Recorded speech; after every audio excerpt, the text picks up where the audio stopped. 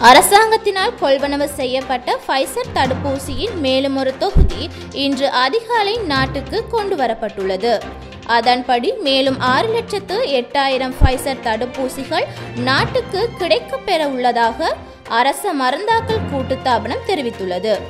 இலங்கைக்கு இதுவரை ஒன்று தசம் ஏழு மில்லியன் ஃபைசர் தடுப்பூசிகள் கிடைக்கப் பெற்றுள்ளமை குறிப்பிடத்தக்கது.